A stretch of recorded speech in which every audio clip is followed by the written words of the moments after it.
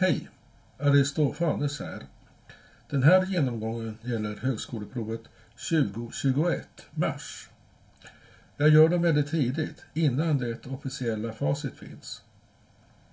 Men om så behövs kommer jag att korrigera eller lägga in en rättelse. Uppgift 13. f av x är lika med minus 4x plus 2. Och vad är då kvantitet 1? Jo, f av minus en halv. Att jämföra med en nolla. Det är bara att sätta in kvantitet 1. Det är då minus en halv på platsen för x. Minus 4 gånger minus en halv plus 2 är lika med. Här gäller att inse att det är två minustecken som tar ut varandra. Så minus 4 gånger minus en halv, det blir 2. Plus 2 är det. Plus en tvåa till då är lika med 4. Och det ska vi jämföra med 0 i kvantitet 2. Det innebär att kvantitet 1 är större än 2. Rätt svar är A som Adam. Uppgift 14. Kvantitet 1, det är då roten ur x, allt upphöjt till roten ur 9 plus 1. Och kvantitet 2 är roten ur x upphöjt till 4. Jag förenklar här uppe först då, roten ur x. Och så är det roten ur 9, det är ju 3. Plus 1. Och det är roten ur x upphöjt till 4. Och det är faktiskt precis vad vi har i kvantitet 2. Och x är större än 0. Vi slipper alla konstigheter av negativa tecken och sådant. Det innebär att kvantiteterna är lika stora, så C är det rätta svaret. Uppgift 15. Kvantitet 1 är 0,97 upphöjt till 97 och tvåan 1,07 upphöjt till 7. Om vi då tittar på ettan så är det ju tal som är mindre än 1.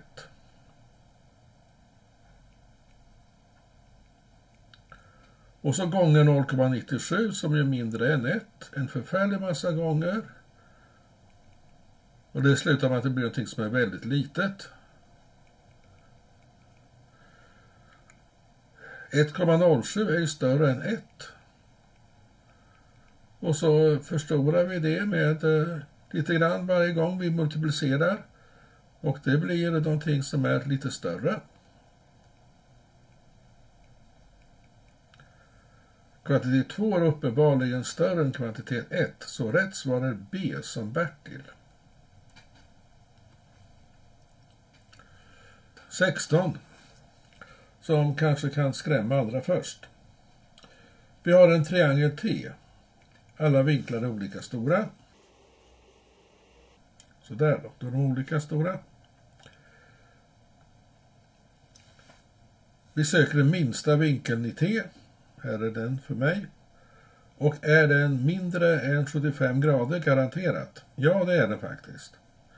Därför att medelvinkeln, jag skriver med, va? betyder medelvinkeln, den är ju 60 grader. De är sammantaget 180 grader. Och, och alla värden kan ju inte vara större än medelvärdet.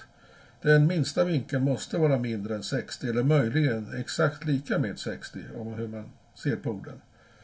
Hur som helst så är kvantitet 1 mindre än kvantitet 2, så rätt svar det är B. Uppgift 17. I en burk finns det 190 kulor som är numrerade med heltal 1, 2, 3 och så vidare upp till 190. En kula plockas slumpmässigt. Kvantitet 1. Det är sannolikheten att numret på kulan är ett tvåsiffrigt heltal.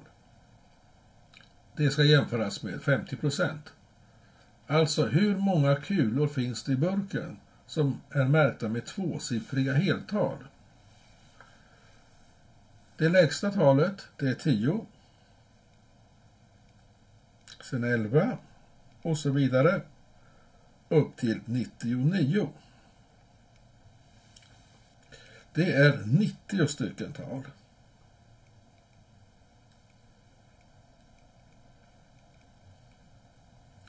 Så sannolikheten P är 90 genom 190 antalet kulor.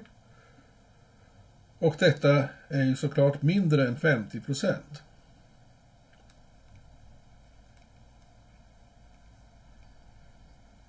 Det innebär att kvantitet 2 är den större kvantiteten, så rätt svar det är B. Bertil.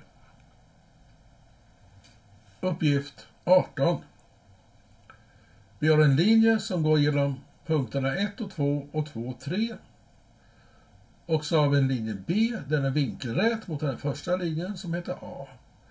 Och vi ska jämföra riktningskoefficienterna för de två linjerna.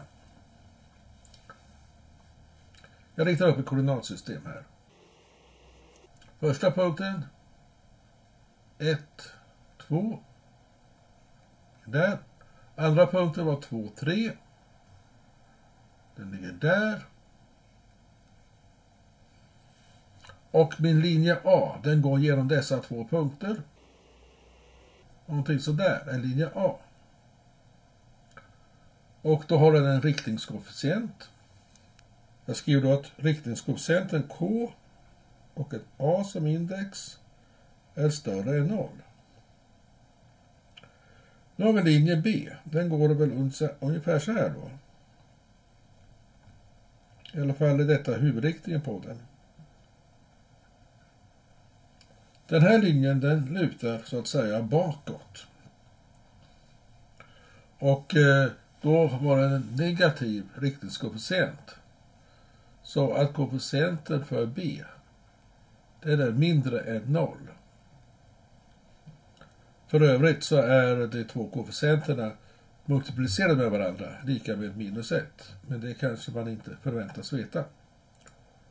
Hur som helst, koefficienten för B är mindre än 0 och den för A är större än 0. Alltså är A störst.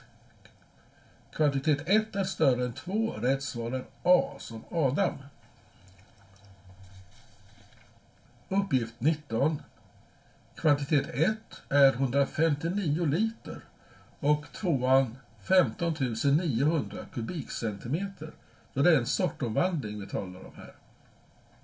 Då ska man veta att för volymer så är avstånden mellan kubikcentimeter, kubikdecimeter, kubikmeter och så vidare tusen för varje förändring i skalsteget. Längdskalan är eh, 10 och då är eh, volymskalan 1000. En liter är samma sak som en kubikdecimeter skruvar skriver upp det.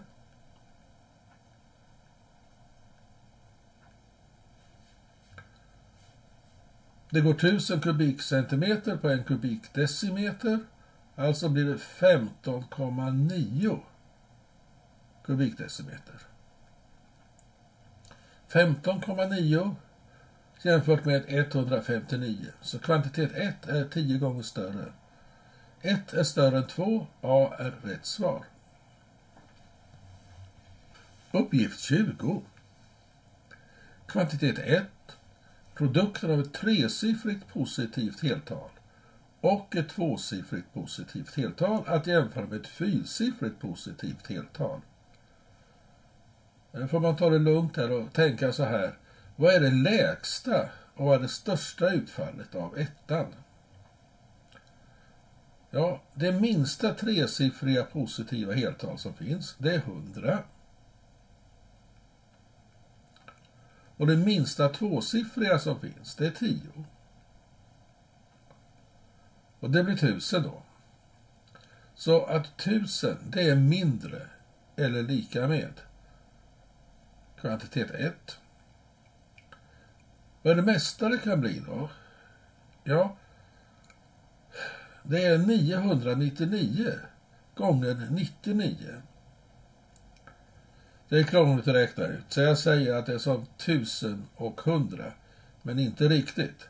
Så det är alltså lite mindre ändå. Hundratusen.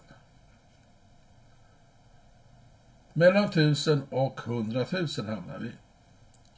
Kvantitet 2, det är ett fyrsiffrigt positivt heltal. Det ligger då mellan 1000 som då är det minsta värdet som ettan kan ha.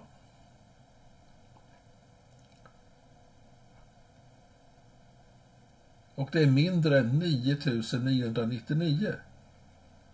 Så ettan kan faktiskt bli större än tvåan.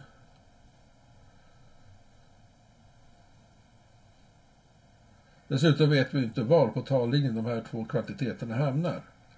Så hur man än ser på den saken så är det otillräcklig information. Rätt svar då, det är D som David. Uppgift 21. Aren av en cirkel är pi upphöjt till 3 kvadratcentimeter. Vad vet vi då om cirkelns radie jämfört med pi? Ja, om vi inte ser det direkt så vet vi att arean är lika med formeln för det, det är radien i kvadrat gånger pi.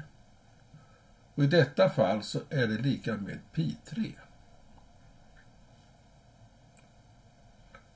Ur detta tycker jag vi ser det impliceras, som var ett av orden på ordprovet, att r är lika med pi. Det innebär att kvantitet 1 är lika med kvantitet 2. Så rätt svar det är C som Caesar. Uppgift 22. Vi vet att roten ur x genom y är lika med x genom y. Och så vet vi dessutom att x och y är båda större än 0. Man kan ibland införa en hjälpvariabel. Jag kallar den för t t är x genom y, men det kanske är lättare att räkna om jag kallar för t. Roten ur t är lika med t. Det enda tal där det gäller att roten ur talet är lika med talet, det är 1.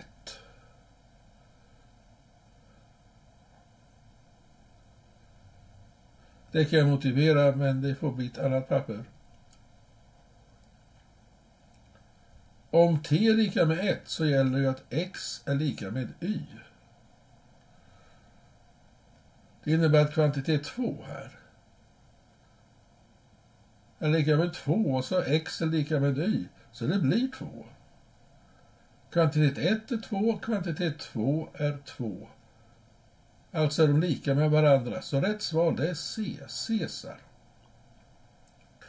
Tack för att du följde mig så här långt. Jag tycker nog att eh, det var ganska vanliga uppgifter. Det var ingen som stack ut och det var ingen som var någon särskild stor utmaning. Men tack för att du följt mig. Lycka till, hej då!